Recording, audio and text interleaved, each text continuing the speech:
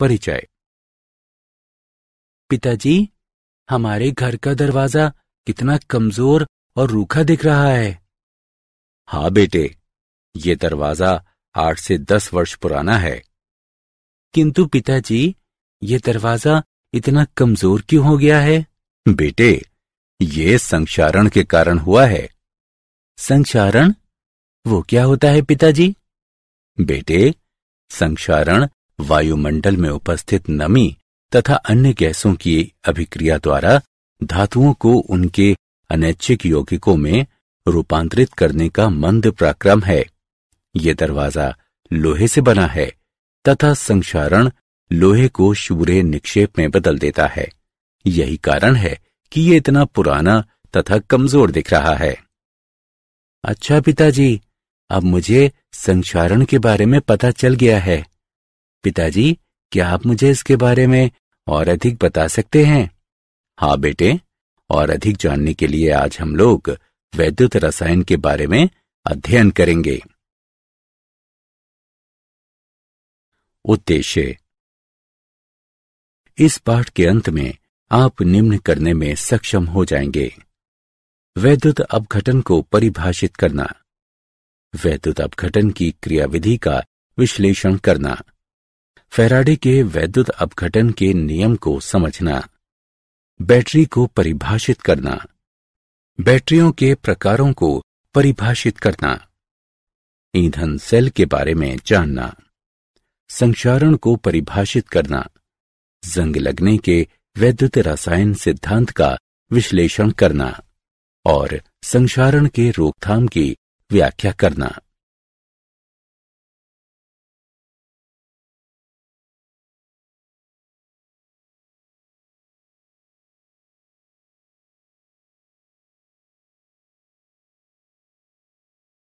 वैद्युत अपघटन। वैद्युत अपघट्य या इसके जलीय विलयन में वैद्युत धारा की प्रवाह से होने वाले रासायनिक अपघटन के प्राक्रम को वैद्युत अपघटन कहते हैं। वैद्युत अपघटनी सेल, वो पात्र जिसमें वैद्युत अपघटन का प्राक्रम संपन्न होता है, वैद्युत अपघटनी सेल कहलाता है। इसमें एक वैद्युत अपघटनी टैंक होता है। जो किसी अचालक पदार्थ की बनी होती है। वैद्युत अपघट्य द्रव अवस्था में या जलीय रूप में वैद्युत अपघटनी टैंक में लिया जाता है, तथा इसमें दो इलेक्ट्रॉनिक चालक निमज्जित होते हैं। इलेक्ट्रोडों को दिष्ट धारा के स्रोत से संपर्कित कर दिया जाता है। वैसे इलेक्ट्रोड, जो बैटरी के ऋण सिरे से संपर्कित होता है, कैथोड कहलाता है। तथा बैटरी के धन सिरे से संपर्कित इलेक्ट्रोड एनोड कहलाता है।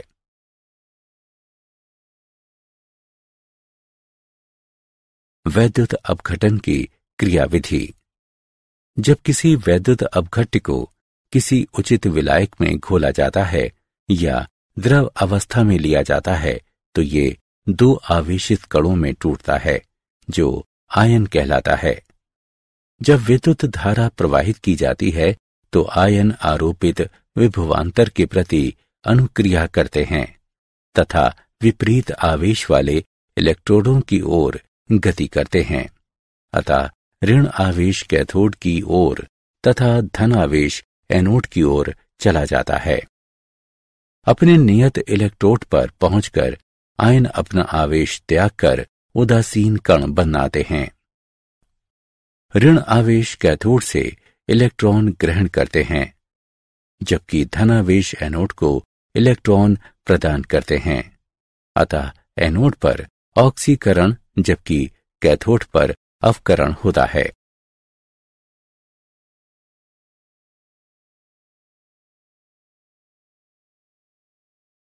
वैद्युत अपघटन के उत्पाद। वैद्युत अपघटन के उत्पाद मुख्यतः निम्न कारकों पर निर्भर करते हैं। वैद्युत अपघट्य के पदार्थ की प्रकृति। यदि वैद्युत अपघटन, वैद्युत अपघट्य की द्रव अवस्था अथवा जलीय विलयन में होता है तो इलेक्ट्रोडों पर निर्मित उत्पाद भिन्न होते हैं। वैद्युत अपघट्य में प्रयुक्त इलेक्ट्रोडों के प्रकार। यदि प्रयुक्त इलेक्ट्रोड अक्रिय है तो ये अभिक्रिया में भाग नहीं लेता है। या यदि इलेक्ट्रोड अभिक्रियाशील हो तो ये इलेक्ट्रोड अभिक्रिया में भाग लेता है। तब वैद्युत अपघटन के उत्पाद भिन्न होते हैं। वैद्युत अपघटन के उत्पाद, वैद्युत अपघटनी सेल में उपस्थित विभिन्न ऑक्सीकारक एवं अपचायक स्पीशीज एवं उनके मानक इलेक्ट्रोड विभुओं पर निर्भर करते हैं। जब कोई वैद्युत रासायनिक अभिक्रिया गतिकीय रूप से इतने धीमे होती है कि ये घटित होता, प्रतीत नहीं होता है। तो कुछ अतिरिक्त विभव, जिसे अधिविभव कहते हैं, ऐसे पराक्रम को घटित होने के लिए लगाना पड़ता है। विलियन का सांद्रण भी वैद्युत अपघटन के उत्पाद को प्रभावित करता है।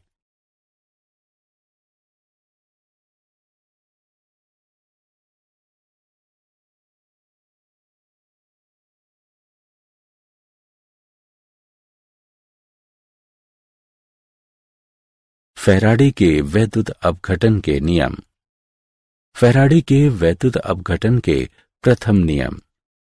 किसी इलेक्ट्रोड पर निक्षेपित मुक्त या घुले पदार्थों की मात्रा वैद्युत अपघट्टे विलियन या गलित प्रवाहित विद्युत धारा की मात्रा के समानुपाती होती है।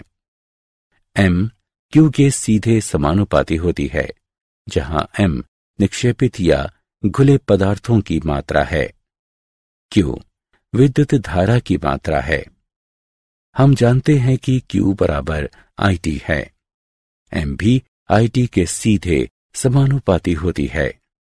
इसे इस प्रकार भी लिखा जा सकता है। एम बराबर जेड आई टी जहाँ जेड पदार्थ का वैद्युत रासायनिक तुल्यांक कहलाता है। किसी वैद्युत अपघट्टे गलित या विलियन से प्रवाहित एक कुलोम की विद्युत धारा से निक्षेपित या घुले पदार्थों की मात्रा को जेड से परिभाषित करते हैं। फेराडे के वैद्युत अपघटन के द्वितीय नियम।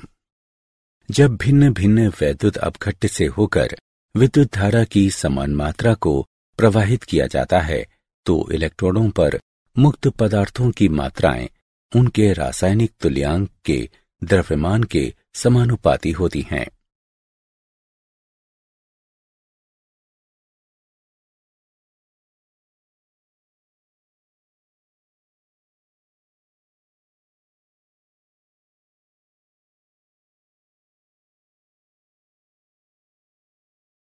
फेराडे के वैद्युत अपघटन के नियम पर उदाहरण।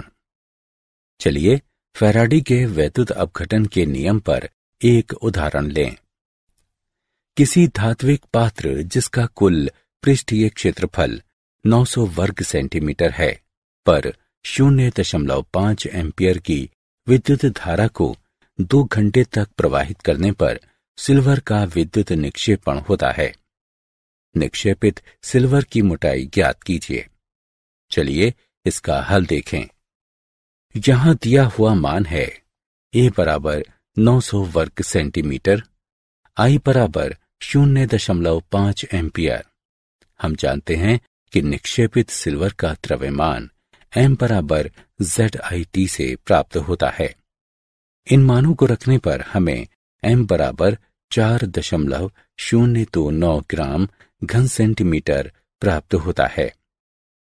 हम जानते हैं कि v बराबर एम बटा डी इन मानों को रखने पर हमें v बराबर शून्य दशमलव तीन आठ तीन सात घन सेंटीमीटर प्राप्त होता है। मान लें कि निक्षेपित पदार्थ की मोटाई x सेंटीमीटर है।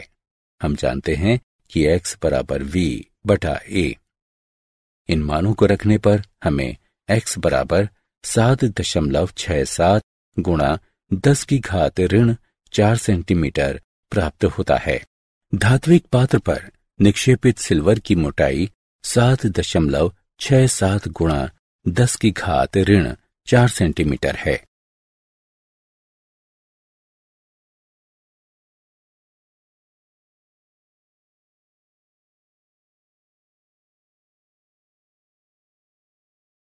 बैटरियाँ। कोई बैटरी जिसका विद्युत ऊर्जा के स्रोत के रूप में प्रयोग होता है, मूलतः एक विद्युत रासायनिक सेल है, जिसमें रेडॉक्स अभिक्रिया की रासायनिक ऊर्जा विद्युत ऊर्जा में रूपांतरित होती है। बैटरी श्रेणी क्रम में जुड़े दो या दो से अधिक गैल्वेनी सेलों की व्यवस्था को प्रदर्शित करता है। बैटरी के आवश्यक गुण हैं इनकी आयु लंबी होनी चाहिए। बैटरी को हल्का तथा सुसंबद्ध होना चाहिए। ये पुनः आवेशित करने योग्य होनी चाहिए। प्रयोग में लाते समय इनकी वोल्टता में अधिक परिवर्तन नहीं होना चाहिए। बैटरियों के प्रकार। विविध व्यावसायिक बैटरियों को वृहत रूप से दो प्रकारों में वर्गीकृत करते हैं। प्राथमिक बैटरियाँ प्राथमिक बैटरियाँ लंबी अवधि के बाद रासायनिक अभिक्रिया के रुक जाने से निष्क्रिय हो जाती हैं। इसे पुनः आवेशित या पुनः प्रयोग में नहीं लाया जा सकता है। उदाहरण के लिए शुष्क सेल तथा मर्क्यूरी सेल। संचायक बैटरियाँ। संचायक बैटरी को निष्क्रिय होने के बाद दिष्ट धारा प्रवाहित कर पुनः आवेशित किया जा सकता है तथा बैटरी को बार बार प्रयोग में लाया जा सकता है। उदाहरण के लिए, लेड संचायक सेल, निकेल कैडमियम संचायक cell.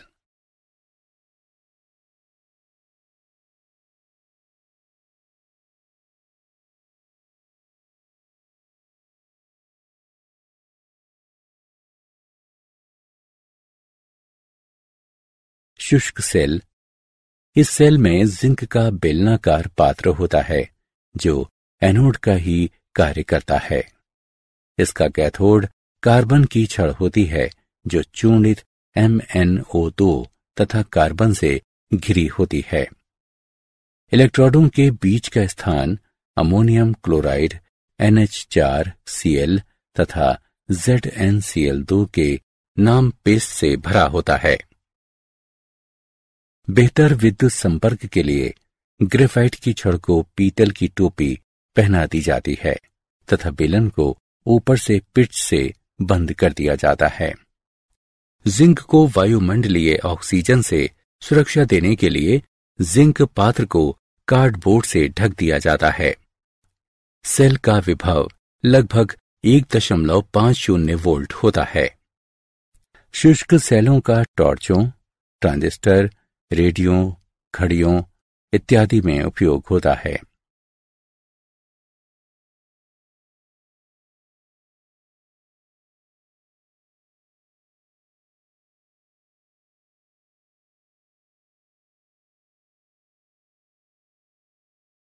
Mercury cell. Mercury cell में जिंक मर्क्यूरी अमलगम का एनोड होता है तथा HGO तथा कार्बन का पेस्ट कैथोड का कार्य करता है।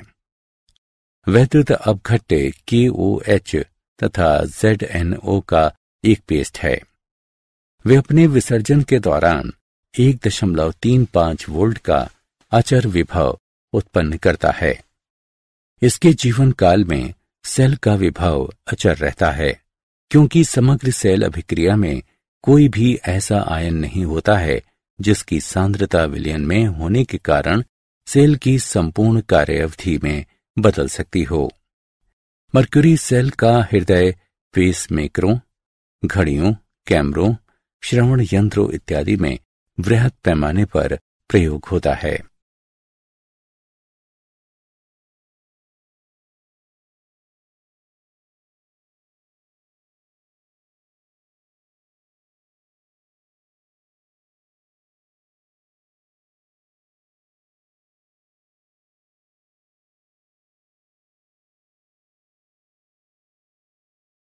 लेड संचायक बैटरी।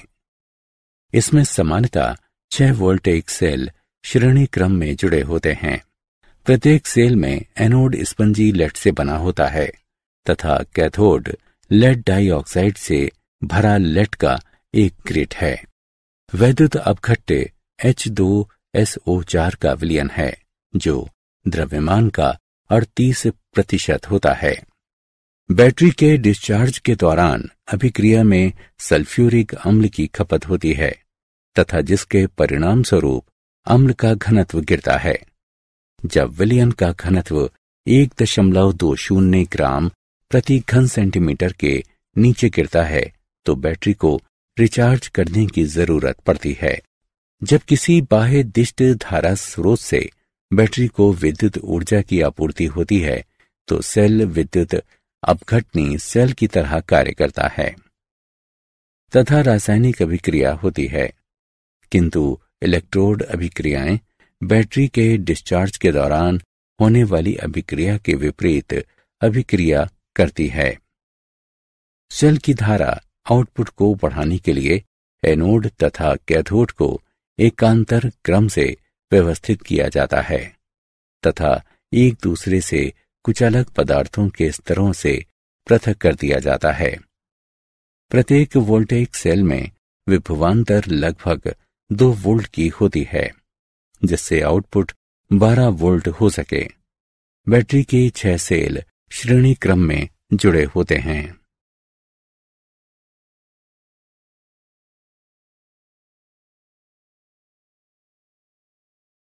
निकेल, कैडमियम, संचायक बैटरी।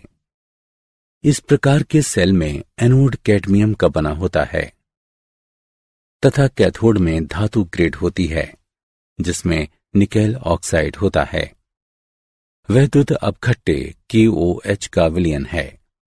सेल की वोल्टेज लगभग एक दशमलव चार वोल्ट होती है। बैटरी के डिस्चार्ज के दौरान कोई गैसीय उत्पाद नहीं बनता है, तथा ठोस उत्पाद बनता है, जो इलेक्ट्रॉन से चिपके होते हैं, जिसे आवेशन प्रक्रिया द्वारा पुनः रूपांतरित कर लिया जाता है। इन सेलों का उपयोग वृहद रूप से इलेक्ट्रॉनिक घड़ियों तथा कैलकुलेटरों में होता है।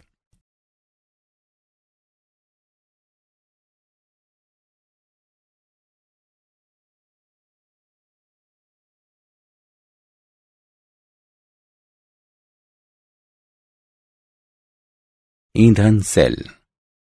ईंधन सेल विद्युत रासायनिक सेल है, जिसमें ऑक्सीकृत होने वाले पदार्थ वैद्युत अपघट्टे या इलेक्ट्रोड पदार्थ नहीं होते हैं, बल्कि एक बाह्यता आपूर्ति करने वाले पदार्थ हैं, जिसका उपयोग श्रवण यंत्र में ईंधन के रूप में हो सकता है।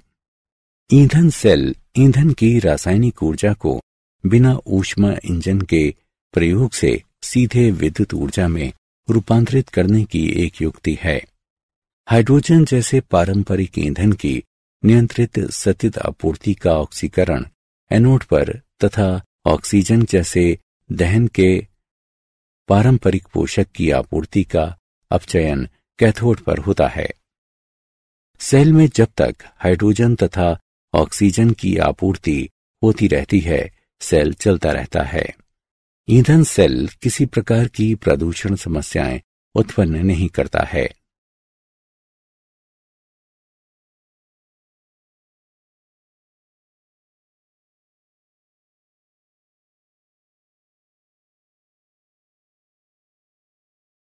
संचारण संक्षारण वायुमंडल में उपस्थित नमी तथा अन्य गैसों की अभिक्रिया द्वारा धातुओं को उनके अनैच्छिक यौगिकों में रूपांतरित करने का मंद पराक्रम है। उदाहरण के लिए, चांदी का पदरंग होना, लोहे में जंग लगना, कॉपर पर हरे रंग का लेप चढ़ना, तथा लेट का अपनी चमक खोना। संचारण की दर को प्रभावित करने वाले कारक हैं, धातु की अभिक्रियाशीलता, अशुद्धियों की उपस्थिति, वायु एवं नमी, धातु में तनाव तथा वैद्युत अपघट्ट की उपस्थिति।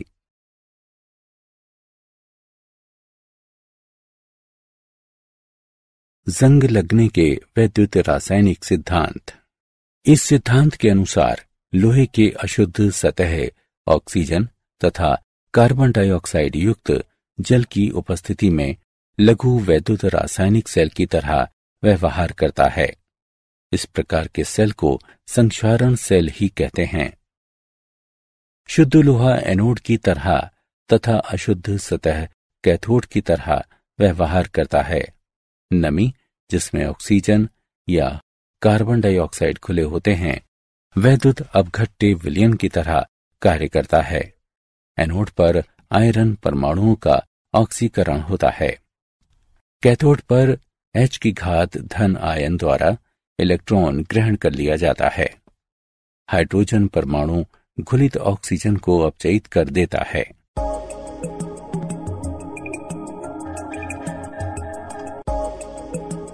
इस प्रकार उत्पन्न फेरस आयन जल से होकर आयरन की सतह पर पहुँचता है और जहाँ इसका वायुमंडलीय ऑक्सीजन द्वारा फेरिक अवस्था में ऑक्सीकरण होता है, जो जंग का निर्माण करता है।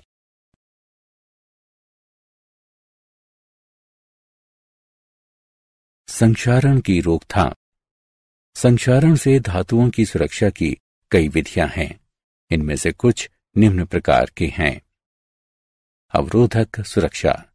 इस विधि में एक अवरोधक फ़िल्म आयरन तथा वायुमंडल ऑक्सीजन तथा नमी के बीच रखी जाती है। उत्सर्ग सुरक्षा। इस विधि में आयरन सतह को किसी अधिक सक्रिय धातु की परत से आच्छादित कर देते हैं। टिन से आयरन का आच्छादन। टिन बहुत कम विद्युत धनात्मक होता है। तथा इसका वायु में संक्षारण नहीं होता है। जब टिन की परत को आयरन की सतह पर आरोपित किया जाता है तो ये जंग के विरुद्ध सुरक्षित होता है। विद्युत सुरक्षा।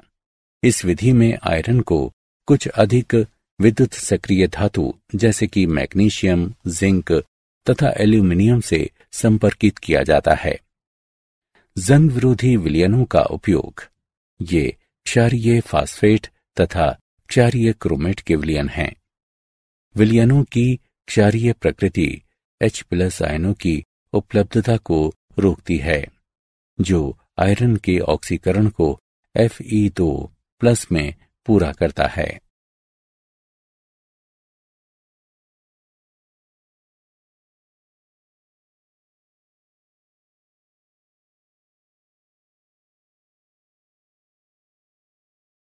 क्या आप जानते हैं?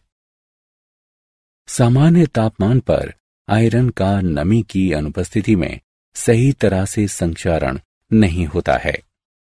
वैद्युत अपघटन स्थायी रूप से बाल हटाने की एकमात्र विधि है, जिसे खाद्य एवं औषध प्रशासन ने मान्यता प्रदान की है।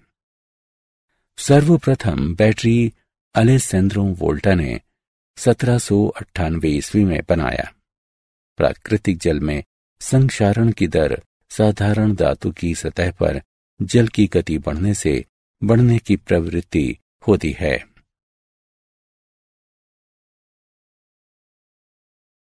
सारांश।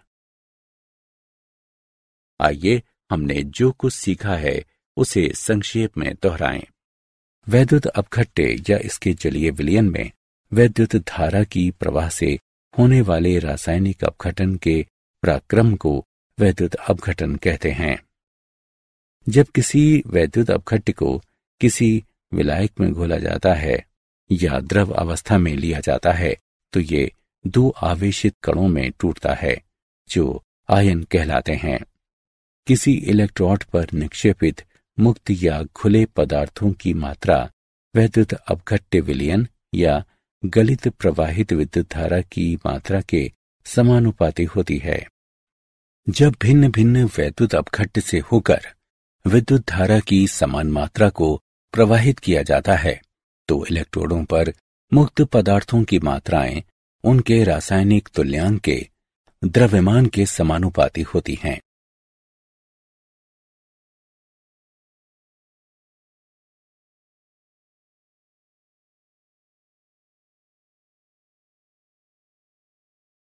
बैटरी श्रेणी क्रम में जुड़े दो या दो से अधिक गैल्वेनी सेलों की व्यवस्था को प्रदर्शित करता है।